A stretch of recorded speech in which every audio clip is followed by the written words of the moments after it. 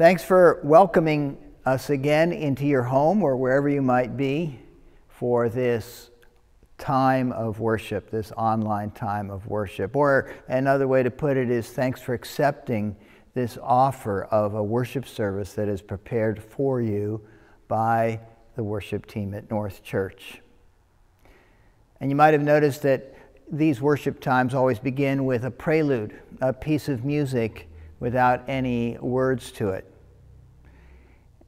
And the reason for that is that I don't know about you, but for me, when I, whether it is coming into church on Sunday morning in the physical building for worship or joining one of these online services, I always need a minute to just get myself ready in the right place, emotionally and mentally and spiritually, to enter into worship. And that's what the prelude is able to do, to give that space of preparation of our hearts and minds to worship God.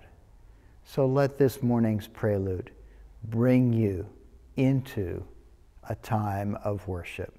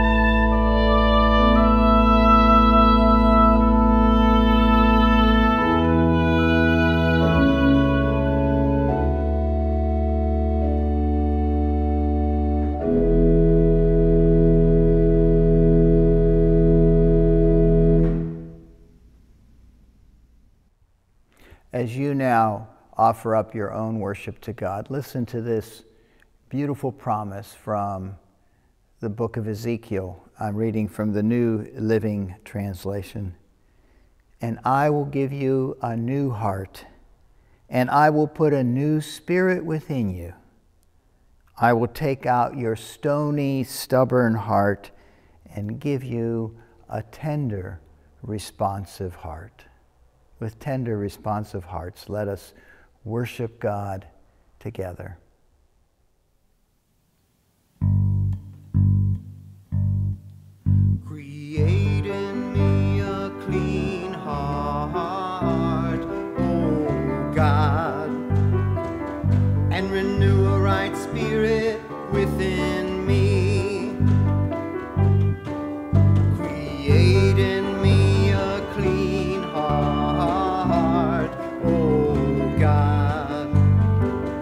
and renew a right spirit.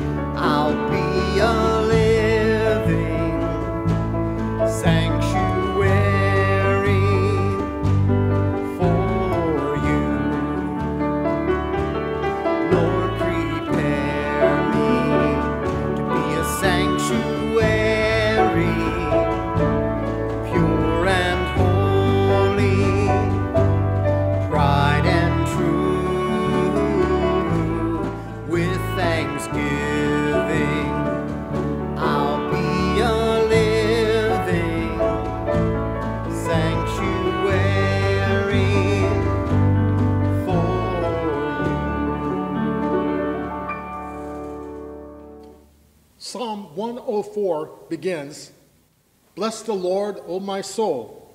O Lord my God, you are very great. You are clothed with honor and majesty, wrapped in light as with a garment. You stretch out the heavens like a tent. You set the beams of your chambers on the waters. You make the clouds your chariot. You ride on the wings of the wind. You make the winds your messengers, fire and flame your ministers. O Lord, how manifold are your works! In wisdom you have made them all. The earth is full of your creatures. These all look to you to give them their food in due season. When you give to them, they gather it up. When you open their hand, they are filled with good things. When you hide your face, they are dismayed. When you take away their breath, they die and return to their dust. When you send forth your spirit, they are created, and you renew the face of the ground.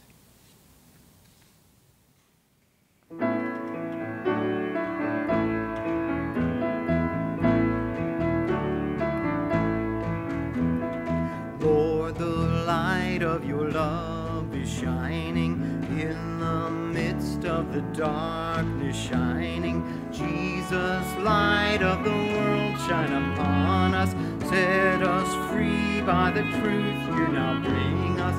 Shine on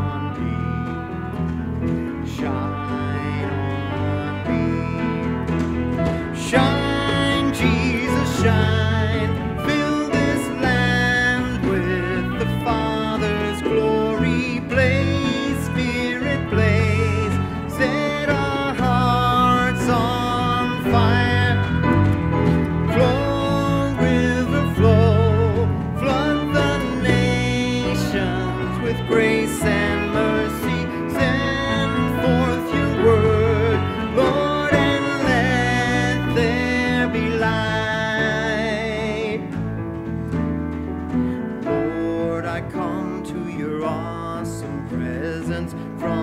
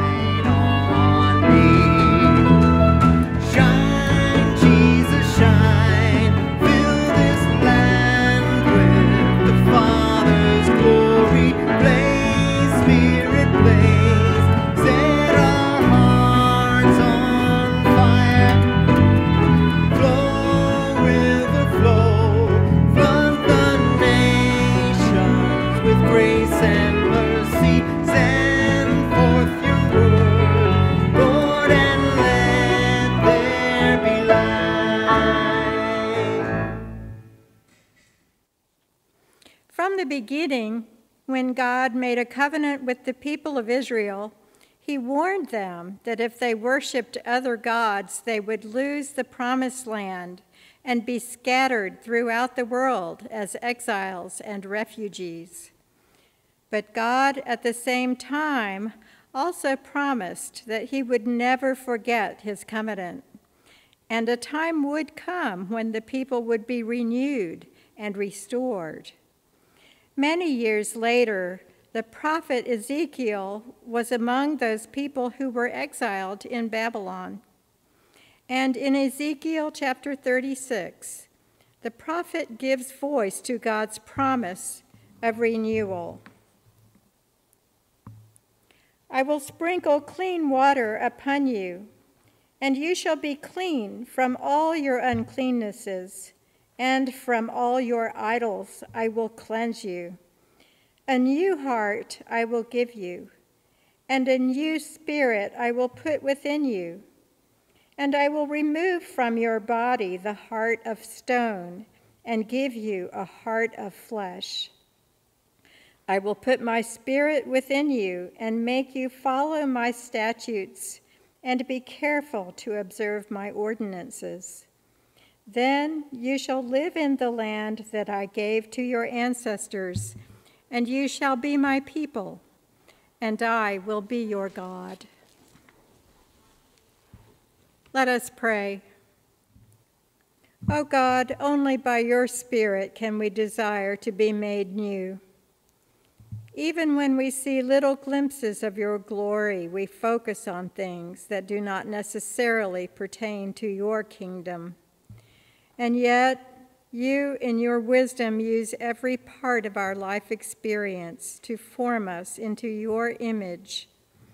We are like grasshoppers on the earth, and yet you see fit to put your Holy Spirit within us.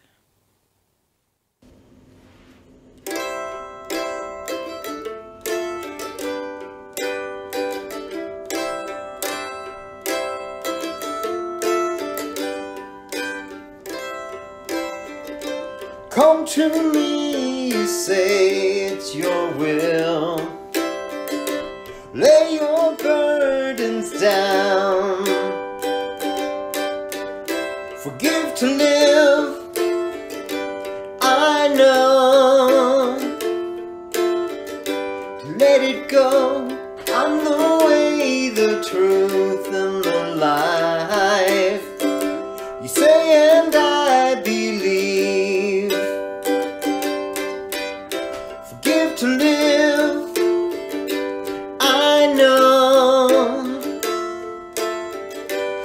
Let it go. All the tears I've cried, they're gone. I have been changed, renewed. What you've started, you will see through. As I walk with you, come to me,